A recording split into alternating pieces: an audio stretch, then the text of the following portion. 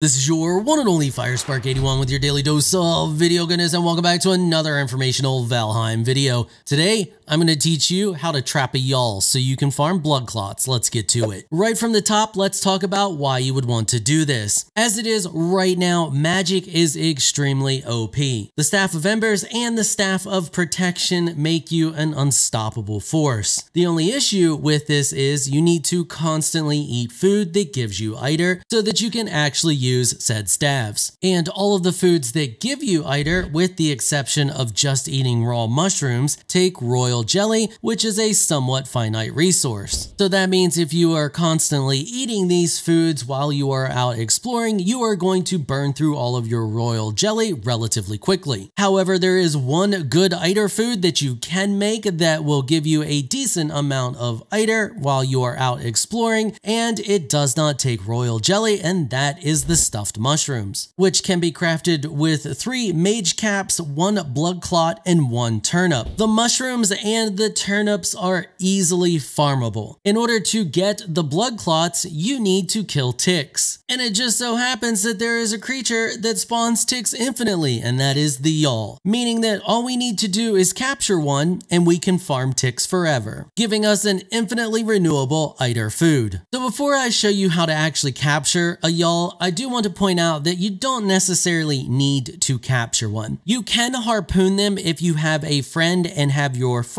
stay underneath of them and stay towards the back of them. If they do this, the Gjall should in most cases just kind of hang out over top of your friend and shut down a little bit. If you stand in front of the Gjall while your friend is doing this, it will attack you and it will drop ticks, allowing you to farm ticks that way whenever you find a Gjall in order to maximize the amount of ticks you get out of it. Do note that the ticks are an attack from the Gjall. So the Gjall has three attacks. It has a shake when something gets close to it. That's its melee attack. It has the fireball that we all know and love or mucus spray, whatever you want to call that thing that explodes, lights you on fire and does damage. And it drops ticks. In order to get it to drop ticks, it needs to see you and attack at range. After it does that a few times, it will drop some ticks, go back to attacking at range, then go back to dropping ticks, rinse and repeat. But having your friend hold one of these relatively still while you try to farm ticks or just solo farming ticks from it, allowing it to fly around and attack and drop ticks is relatively dangerous. However, if you trap one, you pretty much eliminate all of that danger and you can just go farm it whenever you want. So let's talk about how to trap one. All right, so let me show you how to build this thing and we're gonna do it in real time and capture a Gjall. So I have one marked here and if you know where one spawns, if you've killed one,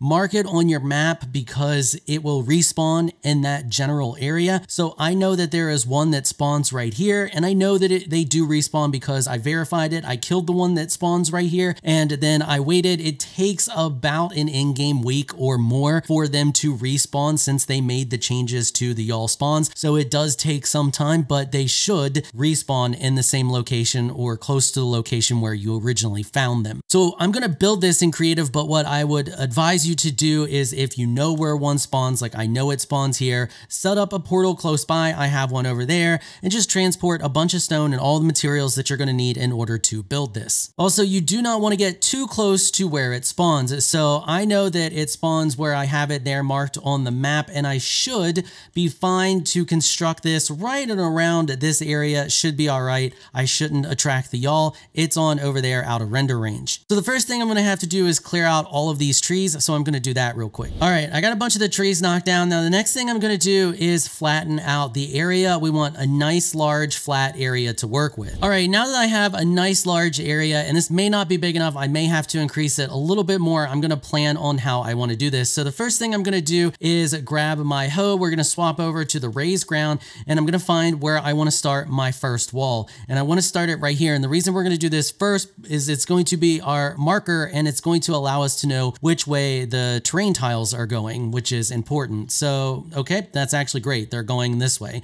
So what we're going to do is we are just going to raise that all the way up as high as it'll possibly go. All right, there we go. That's our max height. Okay, so now I need to know how far across this has to go in order to fit the Gjall in. So in order to do that, we are just going to grab a wood beam and we are going to place it like so, and then place another one. And that's it. That's all the distance you need in order to get a Gjall in here. So now what we're going to do is make sure that the bottom of the other pillar that we are going to raise doesn't overlap. We need to make sure we give plenty of space. So we're going to come over to right about here should be good. And you can see we're pretty much dead on. And now we're just going to raise this one until we get to the max. Now what we're going to do is we're going to come here to the side and we are going to place down a beam like that. And we're going to do the same thing over here. And this just helps to make sure that we get the right size. We're eventually going to fill all of this in. So once we've done that, then we are going to do the same thing. You don't have to be super accurate here. Just get it relatively close. So we're going to line it up about so,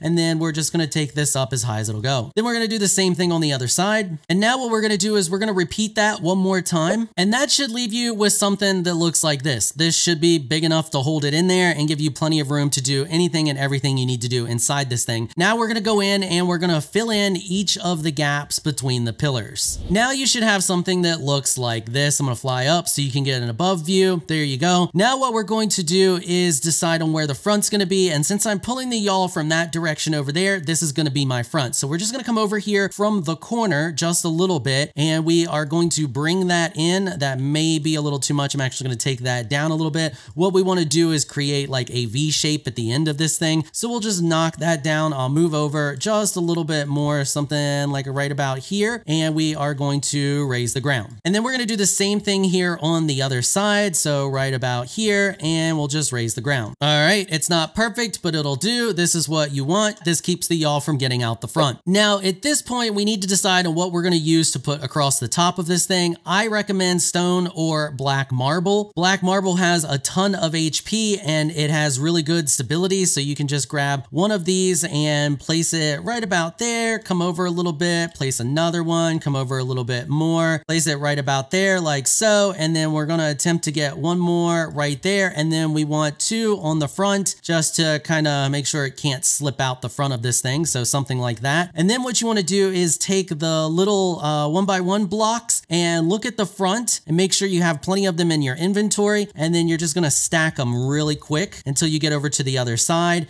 then those should not fall. They should be nice and sturdy. And we're gonna do the same thing to the rest of these. All right, and there we go. And if we take a look, you can see they're not gonna fall. They're nice and supported and we're good to go there. Now, the next thing you need to do is we're gonna carve out the bottom. This is going to allow the ticks to fall down and kind of group up in the bottom. And it's gonna give us a chance to just kind of shave the walls down just a little bit and make things a little bit more nice. We wanna leave an area for the ticks to climb up out of. That way we can funnel them out the back. And I'm a little close to the shore here, so so unfortunately, I'm not going to be able to go super deep, but we'll go as deep as we can. So, and now when we get to the back, what we want to do is kind of carve out a little area that makes it easy for the ticks to get out the side. So I'm just going to do that real quick. We're just going to do something like this. That should allow them to funnel out the side here because what we're going to do is raise a pillar right here and that will trap the Gjall. You want to make this as deep as you can get it. You don't want to have to go all the way down. You still want to have an area where the ticks can climb up out. That's super important because what's going to happen is we're going to be standing over here. They're not going to be able to get out over in this direction and it's going to cause them to pull up down here in the bottom, which is what you want them to do. And then when you are ready to farm them, you come around to this side over here and they will start to funnel out and then you can get rid of all of them. And now I think we're good to go over here and get this Gjall. Before you do this, you want to make sure you have good stamina and you want to make sure you have some magic. You also want to make sure you have the protection staff. This is going to help ensure that you don't get killed. Upgrade it so you get a full two minutes. And also make sure you have a stack of stone on you so that you can quickly raise the ground and trap the Gjall. So what we're going to do is we're going to go over here. I'm going to wait till I hear it and then cast the protection bubble. Okay, I can hear him. I'm not sure where he's at. Oh, I actually see him over there. So we're going to cast a protection bubble. Now, I got lucky enough to not have a lot of mist here, so we're good on that front. You're going to have a lot of mist probably in most cases. So the protection bubble is going to ensure that you don't get shot right away.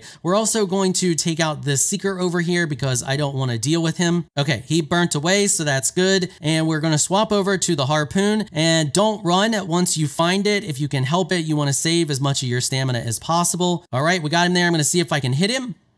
I've got him harpooned, so now we're just going to grab him and we're going to run. You want to sprint as fast as you can because that will pull him down. You want him to be pulled down. And uh, you can see there, he's pulled down nicely. And we're running low on stamina. I'm actually going to let him go. I'm going to let my stamina regen. And then we're going to harpoon him again. And we're just going to make a run for it.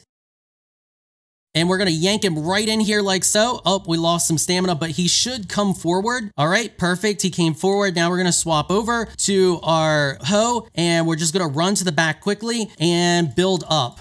You can see he dropped some ticks there, but we should be fine. I'm going to try to build up just a little more and then get down as quickly as you can. Because if you stay up there, he will damage the top and that is not what we want. So there we go. We got rid of the ticks and you can see that was that was relatively easy. Even though we had mosquito, I don't even know where that went. He may have killed it. And now what you want to do is just stand here. That's literally all you have to do. Use a shield to block his attacks or cast the bubble. Most of his attacks are going to miss, especially if you can get a little bit below him and wait until he gets a bunch of ticks down there below him. Once he does that, what you want to do is just come over here. You grab your fire wand or the whatever it's called, wand of embers, and you can see the ticks just come funneling out. Try to get them grouped up nicely. Just blow them up. And if you have a bunch of them, you can just kind of set here and hit them as they're coming out. Be careful you don't hit your Gjall. And you can see here, he can't hit us from over here because he can't see us. He will only shoot at us if we are here. And that's pretty much all there is to it. You now have a tick farm. And if anything happens to this Gjall,